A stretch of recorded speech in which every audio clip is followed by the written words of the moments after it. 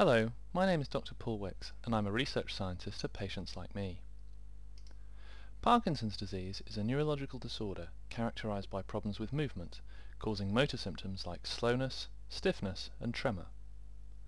Most patients develop PD at the age of 60, although about 10% get symptoms before the age of 40 and are known as young onset PD.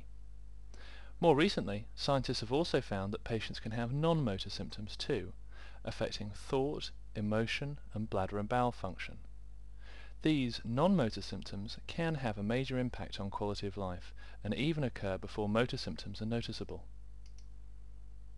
The Parkinson's disease community on PatientsLikeMe contains more than 2,000 patients and allows patients to share their outcomes, find patients like them, and learn more about their condition.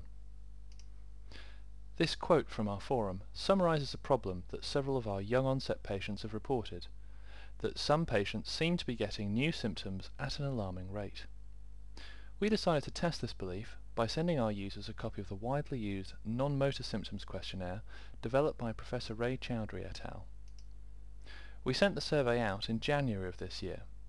In all, 306 patients responded, of whom 46 were young onset. We found that classic PD patients reported an average of 11 non-motor symptoms out of a possible 30, but that the young onset patients reported an average of 3 more symptoms, with significantly higher levels of problems concentrating, pain, sadness, apathy and falls. In conclusion, these findings suggest that young onset patients may have a greater burden of non-motor symptoms and deserve careful monitoring. Want to know more?